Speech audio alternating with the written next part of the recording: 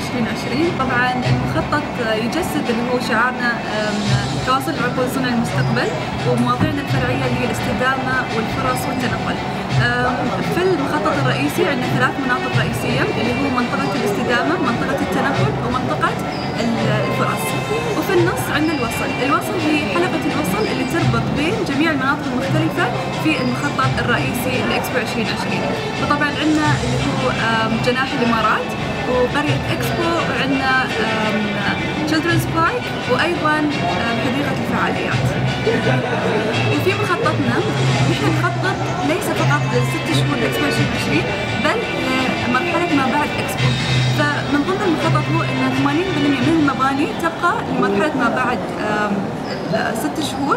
ومن أحد من إحدى ال- على سبيل المثال عندنا ال sustainability zone يتحول إلى museum of science